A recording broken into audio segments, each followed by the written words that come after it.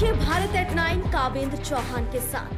नमस्कार बहुत बहुत स्वागत, हार्दिक अभिनंदन है आप सभी का, भारत एट नाइन देख रहे हैं आप। आज दर्शकों, ये टेलीविज़न के इतिहास का पहला ऐसा शुद्ध फेक इंटरव्यू है, जिसको खुद एंकर आपके सामने बैठकर बता रहा है कि यह शुद्ध फेक इंटरव्यू दर्शकों, मेरा मकसद साफ़ है कि हम किसी के लिए लोगों के मन में घृणा पैदा नहीं करना चाहते। कल मेरे साथ इसी मंच पर सादत अली, लखनऊ वाले कैब ड्राइवर, आजकल सुर्खियों में है, वो मौजूद थे। उन्होंने बहुत सी बातें रखी, उनके दिल में जो कुछ था, उन्होंने सामने रखा। और आज मेरे साथ जुड़ रही हैं सुभाषिनी, जिनके ज़रिए हम आपको यह बताना चाहते हैं कि असली सवालों के साथ नकली इंटरव्यू दरअसल लेते कैसे और इस नकली इंटरव्यू के ज़रिए हम आपको यह बताना चाहते हैं कि समाज के सामने असली सच लाते कैसे हैं। सुभाषिनी जी बहुत बहुत स्वागत है आपका भारत एट नाइन में। धन्यवाद कावेंद्र जी। सुभाषिनी जी हमने कई दफ़ा कोशिशें की आपसे बात करने की हालाँकि आपने हमें समय नहीं दिया। आज आप हमारे सामने हैं। सुभाषिनी जी एक चीज़ बताइए। आप हो या कोई भी महिला वो इस तरह चौराहे पर किसी भी पुरुष को पीट देती है। इस तरीके से चौराहे पर बिना डरे बिना पुलिस के डर के इस तरीके से, थप्पड़ पे थप्पड़, जिसकी काउंटिंग 22 तक पहुँचती है, इस तरीके से पिटाई की जाती है। आपको नहीं लगता कि अगर आपकी जगह हम जेंडर बदल दें, अगर सादत अली होता और आपकी जगह सादत अली को रख देते और सादत अली की जगह आपको रख देते तो वो व्यक्ति अभी तक जेल की सलाखों के पीछे होता। आप नहीं है, क्यों? क्योंकि एक महिला हूँ मैं मेरा अधिकार है। अगर मुझे ऐसा लग रहा है कि कोई मुझे घूर रहा है मुझे देख रहा है या मेरे पीछे चल रहा है तो मेरा ये अधिकार है, मैं उसको थप्पड़ मारूँगी। और अगर आपने ज़्यादा सवाल किए और आप नहीं समझ जी, ठीक है।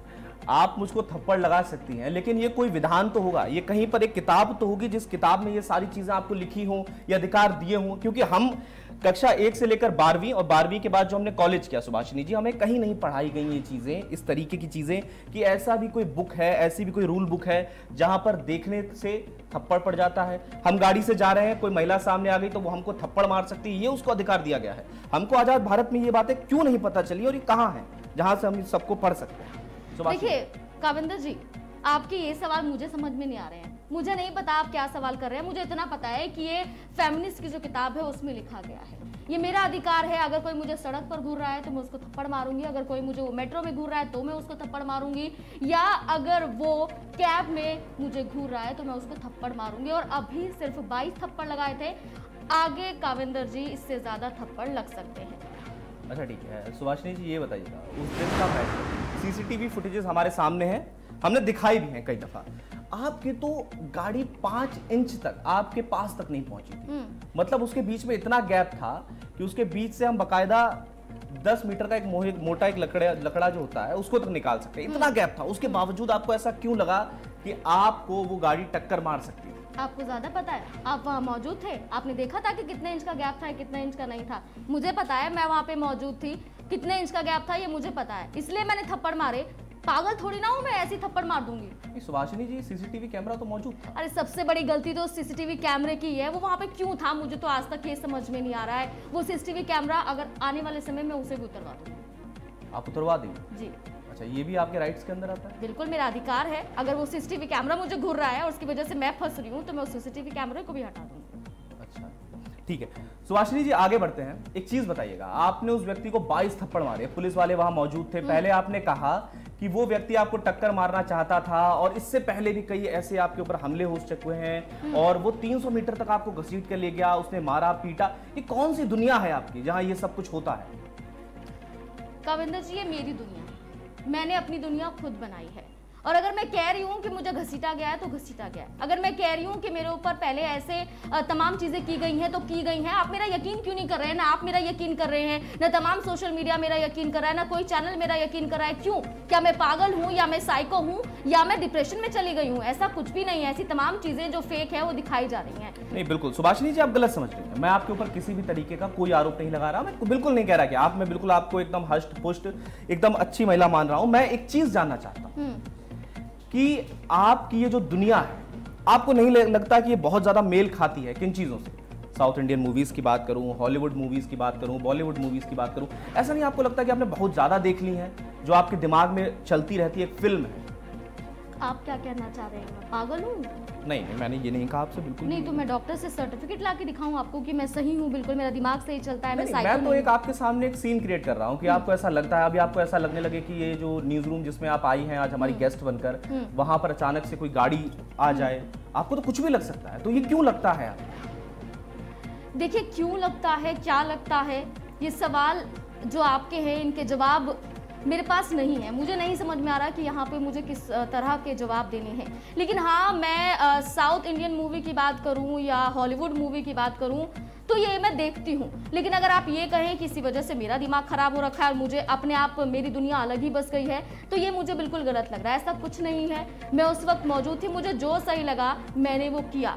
मुझे लगा कि मेरे अंदर ताकत है कि मैं इस आदमी को बाईस थप्पड़ मार सकती हूँ। उसने मुझे टच किया या मारने की कोशिश की है तो मैंने बाईस थप्पड़ लगा दी अच्छा ठीक है। इससे पहले आप ट्रेन फाइटर हैं क्योंकि आप जो उछल उछल के मार रही हैं आपकी जो उछलने की जो प्रक्रिया है आप जिस तरीके से उसके थप्पड़ बरसा रही हैं कैसे शब्दों का इस्तेमाल कर रहे हैं आप? उछल उछल के मार रही थी?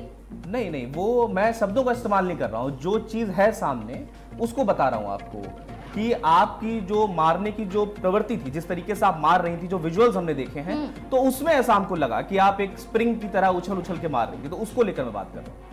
तो ये मैं पूछना चाह रहा हूँ बस इससे कि ये कोई ट्रेंड फाइटर आपने कोई ट्रेनिंग ली है या इससे पहले आपने ऐसे तमाम चीज़ें की हैं? उस पर थोड़ा सा। फेमिनिज्म को ट्रेनिंग लेने की ज़रूरत नहीं है। अगर उसे लग रहा है कि उसके साथ गलत हो रहा है तो फिर वो ऐसे ही थप्पड़ लगाती है। ऐसे ही थप्पड़ लगाती। है। अगर ऐसा ही आपको लगेगा कि आप यहाँ बैठी हैं आपको लगेगा कि शायद ये जो मेरे बगल में जो एंकर बैठा हुआ है बाजू में जो मेरा इंटरव्यू कर रहा है तो आप उसको भी थप्पड़ मार देंगे और कह देंगे कि तो फेमिनिस्ट है मैं तो मुझे लगा कि ये मुझसे बदतमीजी कर रहा था। कोई भी आरोप लगा सकती हैं आप तो। बिल्कुल अगर आपने ऐसे सवाल दोबारा किए हो और इस तरह से उछल उछल का इस्तेमाल किया तो फिर मैं आपको भी दो तीन थप्पड़ तो यहीं पर लगा दूँगी। चलिए ठीक है। सामान्य सी बात है कि अब आप सुभाषिनी जी माफ़ी के साथ एक चीज़ आगे बढ़ता हूँ। सामान्य सी बात है देखिए अब आप फंस चुके हैं। मुकदमा भी हो चुका है। बाकी तमाम नहीं नहीं सुभाषिनी जी देखिए सुनिए सुनना अच्छी बात है। आप फंस चुकी हैं। आप पर मुकदमा हो चुका है सीसीटीवी फुटेज सामने जी आप मेरा इंटरव्यू ले रहे हैं तो आप मेरी बात भी तो सुनेंगे ना या सिर्फ़ अपनी बात करते रहेंगे? सुभाषिनी जी आप तो थप्पड़ मार चुके हैं अब आप थोड़ा सा सुन लीजिए। देखिए आपने एक व्यक्ति को पीट दिया कूट दिया जो भी था। आपने पहले सीधे कहा कि नहीं वो उनके लोग हैं गैंग है मेरे पीछे खैर वो सब बातें मिट चुकी हैं अब आप फंस चुकी हैं ये मान लीजिए। आज नहीं कल देर सवेर आपको जेल जाना ही जाना होगा। अब ये बताइए कि आपको लगता है कि आपके पास कोई भी पॉइंट कुछ भी बचा है जिसके ज़रिए आप बच सकते हैं क्योंकि देश जानना चाहता है ये। देखिए पहली बात तो मेरे को कोई जेल भेजने वाला नहीं है। दूसरी बात ये कि आपको मैं कुछ दिखाऊँगी। जी दिखाइए। क्या कुछ वैसा तो नहीं निकाल रहे हैं देखिए बॉम्ब नहीं निकाल रही हूँ आप डरिए मत। हाँ जी जी। आप देख रहे हैं ये क्या है? ये तो कार्ड लग रहा है आपको कार्ड है? हाँ हाँ ये क्या है? ये आपका आधार कार्ड है। हम्म। और ये ये भी कार्ड है। ये क्या कार्ड है? मैं आपको प्रूफ नहीं दे रही हूँ। ऐसे और भी कार्ड होते हैं। वो होता है विक्टिम कार्ड फेमिनिस्ट कार्ड वो कार्ड है मेरे पास और वो ऐसा हथियार है ना जो मेरे को जेल जाने से बचा लेगा अच्छा आप विक्टिम कार्ड की बात करें क्या? आप विक्टिम कार्ड प्ले करेंगे और आप बिल्कुल। सही समझ रहे हैं आप। अब ज़्यादा दिमाग मत दौड़ाइए। अगला सवाल कीजिए। अच्छा ठीक है। सुभाषिनी जी आप तो मुद्दा ही समाप्त हो गया। अगर आप विक्टिम कार्ड के ज़रिए अगर आप इसी तरीके से पीटती रहेंगी कूटती रहेंगी आप इसी तरीके से लोगों को मारती रहेंगी तो विक्टिम कार्ड हमेशा काम करेगा। बिल्कुल करेगा। अच्छा एक बार ये मान लेते हैं कि इस बार आप थोड़ा सा ज़्यादा फंस गई शायद विक्टिम कार्ड भी थर्ड कार्ड की एक्सपायरी डेट होती है। जैसा कि आपने दिखाया क्रेडिट कार्ड दिखाया आपने अपना डेबिट कार्ड दिखाया एक्सपायरी डेट होती है। अगर इसकी एक्सपायरी डेट मान लीजिए निकल गई ये काम नहीं किया फिर फिर कैसे बचेंगे? देखिए पहली बात तो ये विक्टिम कार्ड कभी एक्सपायर नहीं होता। और अब आप ज़्यादा मेरा दिमाग मत खराब करिए। देखिए मैं वैसे ही बहुत परेशान हूँ मैं घर से बाहर नहीं निकल पा रही हूँ। आप लोगों ने मेरा दिमाग खराब कर रखा है मेरा जीना मुश्किल कर रखा है। मैं अपने घर में रहती हूँ अपने परिवार से भी बात नहीं करती हूँ। आप रोज रोज इंटरव्यू लेने आ जाते हैं। अब इससे ज़्यादा सवालों के जवाब नहीं दे सकती। मतलब आप कहेंगे अब मेरी मानसिक हालत ठीक है हाँ मेरी मानसिक हालत बिल्कुल ठीक नहीं है मैं परेशान हो रही हूँ मेरे सर में दर्द हो रहा है। सुभाषिनी जी अभी तो आपने कहा था कि आप ठीक हैं आप मुझे पागल मत कहिए अब आप कह रही हैं कि नहीं मेरी मानसिक हालत तो अभी कह रही हूँ ना मेरे सर में दर्द हो रहा है। मेरी तो आप मानसिक जब नहीं है। जब चाहेंगी वो कहेंगी क्या? हाँ तो मेरा राइट है मेरा हक है मैं जब मर्ज़ी मेरी ज़िंदगी में जैसा मर्ज़ी बयान दूँ जो मर्ज़ी बोलूँ जैसे मर्ज़ी विक्टिम कार्ड खेलूं। आप कभी भी कुछ भी नहीं कर सकती आप एक समाज में रह रही हैं आप कैसे कर सकती कैसी बातें कर रही हैं आप सुभाषिनी? मुझे पता है समाज में रह रही हूँ लेकिन मेरा विक्टिम कार्ड था और मैं जेल जाने से बच जाऊँगी। लेकिन अब आप बहुत ज़्यादा बोल रहे हैं काविंदर जी अब मेरे सर में दर्द हो रहा है। आप जब बहुत ज़्यादा सवाल कर रहे हैं मुझसे। ठीक है। माफ़ी चाहता हूँ। आपने पहले कहा कि आप मुझे पागल कह रहे हैं। अब आप कह रही हैं कि नहीं मेरी मानसिक हालत ठीक नहीं है मुझसे ज़्यादा मत कहिए। चलिए ठीक है मैं हर मुद्दे को खत्म करता हूँ। चलिए मैं एक बहुत सामान्य सी बात पर आता हूँ। काला रंग। हम्म। काला रंग आपको नफरत है। आपकी एक वीडियो हमने देखी जिसमें काले रंग को लेकर आपने कहा कि आपको दिक्कत है घर के बाहर जो काला पेंट होता है उसे ड्रोन्स आ जाते हैं जो हमला करते हैं सब कुछ ठीक है। सुभाषिनी जी मैं सही बात बताता हूँ बिल्कुल। मुझे मैंने जब आपकी वो वीडियो देखी अगर उसमें ड्रोन्स वाली बात जो कि मजाकिया थी या कैसी भी थी अगर उसको हटा दिया जाए तो जिस तरीके से आप स्टैंड लेती हैं अगर मान लीजिए असली मुद्दों को लेकर आपने स्टैंड लिया होता तो ये कितनी अच्छी चीज़ होती कितनी अच्छी बात होती आपको नहीं लगता? काविंदर जी, होती अच्छी बात, कोई मुद्दा होता।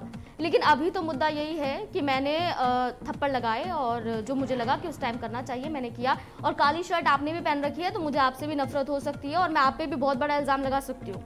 और हाँ वो ब्लैक पेंट जो गेट पे करवाते हैं, उससे ड्रोन आ जाते हैं, ये सच है।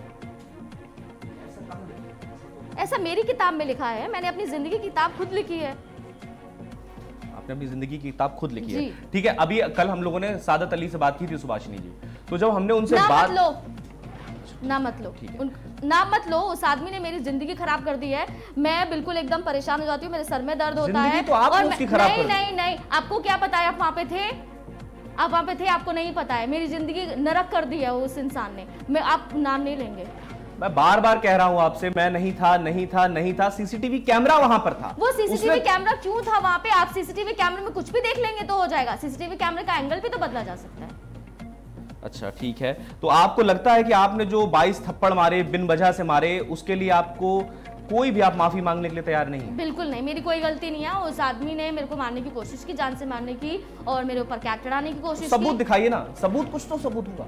कौन सा सबूत? अरे सबूत दिखाइए ना उसके पास सबूत है वो कह रहा है कि ये लीजिए सीसीटीवी फुटेज है जिसमें आप दिख रही हैं 22 थप्पड़ मार रही हैं आप सबूत दिखाइए कि नहीं ऐसा नहीं है। देखिए मेरे पास सबसे बड़ा हथियार है कि मैं एक महिला हूँ और एक फेमिनिस्ट हूँ यही मेरा सबूत है और मुझे आपको सबूत देने की ज़रूरत नहीं चलिए तो मतलब बात ही खत्म हो जाती है जब आप फेमिनिस्ट की बात कर देती हैं कि आप फेमिनिज्म जो जिसको आप सूडो फेमिनिज्म हम लोग कहते हैं तो उसके दरमियान तो फिर सारी बात ही खत्म हो गई।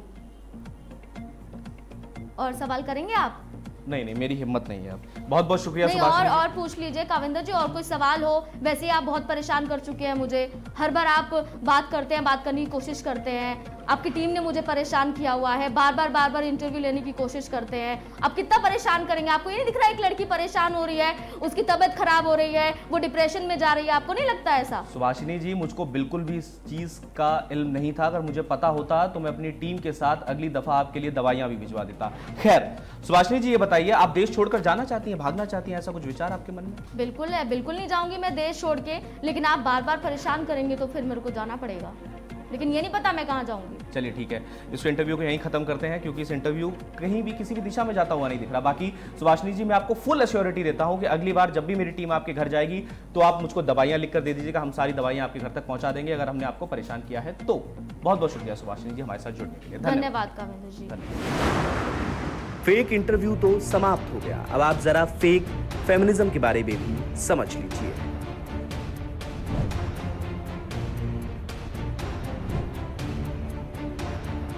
फेमिनिज्म ये ऐसा शब्द जो ना सिर्फ़ आज की तारीख में कई लोगों के लिए सिर का दर्द बन चुका है, बल्कि अधिकतर लोगों को तो इसका असली मतलब भी नहीं पता। और मज़ेदार बात यह है कि इसमें उनका कोई दोष भी नहीं। आखिर इस फेमिनिज्म शब्द का राज पहले मुर्गी आया या फिर अंडे की ही तरह है, जिसमें लोग ये समझ ही नहीं पाते कि विरोध किस बात का करना है और किसका नहीं। और फिर इस शब्द का लोगों ने इतना बेड़ा गर्क कर दिया है कि अब इसके असली मतलब क्या है, ये खुद ही किसी रॉकेट साइंस की तरह का कठिन सवाल बन गया है। चलिए तो हम सारे झंझट को खत्म कर देते हैं और आपको बताते हैं कि आखिर फेमिनिज्म वास्तव में है क्या। आप तो जानते ही हैं कि ये स्त्री और पुरुष के बीच के प्राकृतिक अंतर को दरकिनार करते हुए समान अधिकारों की बात करता है। इसका सिर्फ़ एक ही उद्देश्य है कि चाहे जो भी हो, जाए पुरुष और महिला बराबर है। हालाँकि ये उतना भी आसान नहीं है। कभी कभी जब महिलाएँ बराबरी की बात करती हैं तो ये भूल जाती हैं कि हर चीज़ हमारी ही सुविधा के अनुसार नहीं होती। हमारी सुविधा अनुसार नियम और शर्तों को लागू नहीं किया जा सकता। आप जानते हैं कि सिर्फ़ अपने स्वार्थ के लिए फेमिनिज्म शब्द का उपयोग करने से क्या साबित होता है?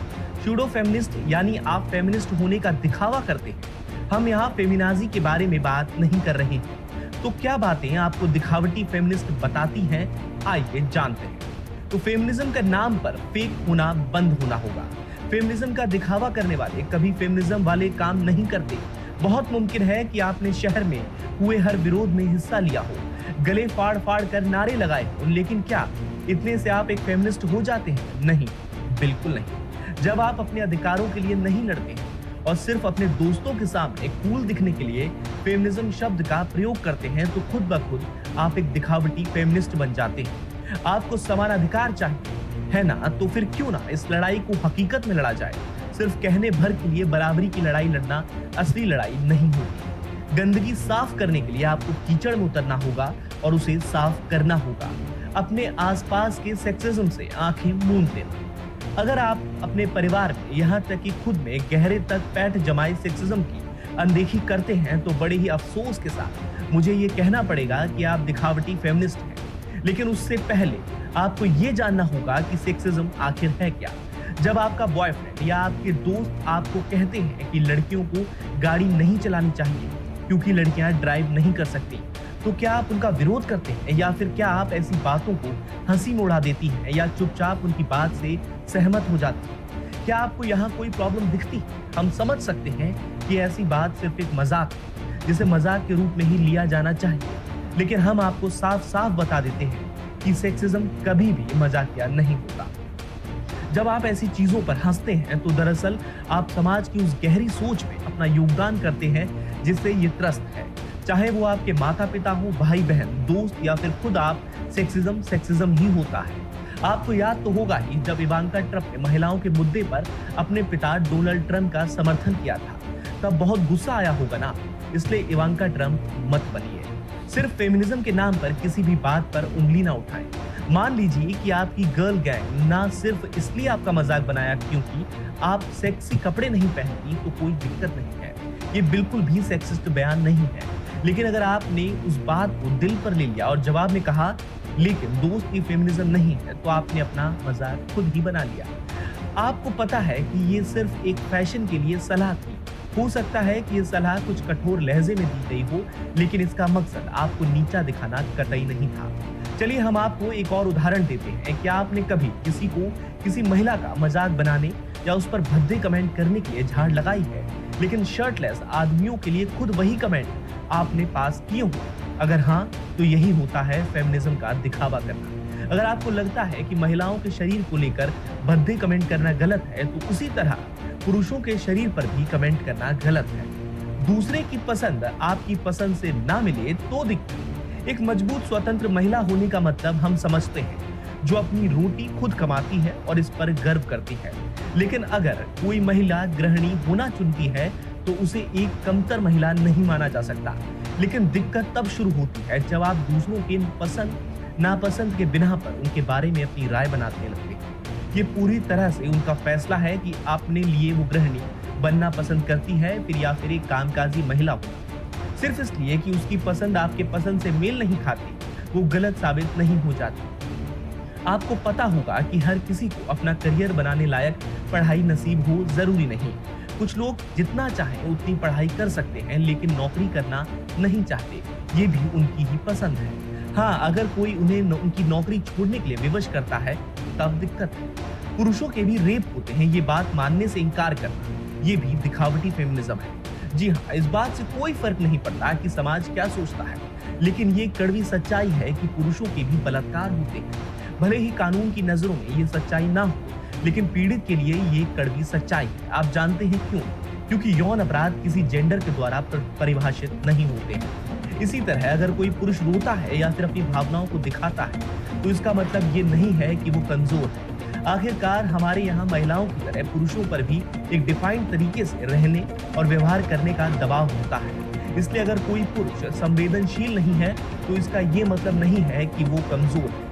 वो भी हर इंसान की ही तरह आम इंसान है और उसे भी अपने ढंग से व्यवहार करने का पूरा अधिकार है। तो इसलिए अब आगे से आप पर पागल मत बनिए और फर्जी फेमिनिज्म के झंडे मत बुलंद कीजिए। इस शब्द को समझें इसके बारे में थोड़ा पढ़ें और सबसे महत्वपूर्ण बात, इसे किसी हथियार की तरह प्रयोग ना करें। Bureau report, news world India. तो जैसा कि मैंने इंटरव्यू की शुरुआत में कहा था कि ये शुद्ध और देसी एक फेक इंटरव्यू है। लेकिन इस फेक इंटरव्यू के ज़रिए मैं वो सच सामने लाना चाहना, चाहता था जो आज के वक्त सबसे बड़ी मांग। किस तरीके से समाज में जो बदलाव आने लगे हैं या आ चुके हैं या फिर बहुत जल्द आने वाले हैं। उन सभी चीज़ों को रोकना भी हमारा काम है, उन सभी चीज़ों से लड़ना भी हमारा काम है, क्योंकि पहली कोरोना की वेब से हम लड़े, जीते। दूसरी कोरोना की वेब से हम लड़े, बहुत संघर्ष किया और जीते। लेकिन हमेशा एक बात याद रखिए कि एक और वेव है, जिससे हमको लड़ना है, वो है सूडो फेमिनिज्म इससे हमको लड़ना बहुत ज़रूरी है। ये कार्यक्रम एक डमी प्रोग्राम था, जिसके ज़रिए हम आपको ये समझाना चाहते थे कि किस तरीके से यहाँ पर समाज में किस तरीके से जो बदलाव है वो आने शुरू हो चुके हैं, जिनको हमें रोकने की ज़रूरत है। कल एक बार फिर आपसे मुलाकात होगी। धन्यवाद।